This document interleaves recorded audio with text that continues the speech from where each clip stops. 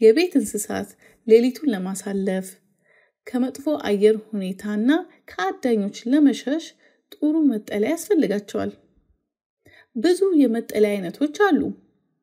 በረት ወይም ባርን ከብቶች፣ በጎች፣ ፍየሎች የሚኖሩበት ቤት ነው።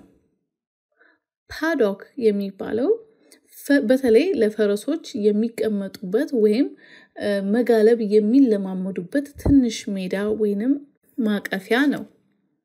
Stable የ livestock መኖሪያ በተለይ ለፈረሶች የሚያገለግል ነው። በ stable ውስጥ አንድ እንስሳ ለየብቻው የሚቆዩበት ክፍሎች አሏቸው።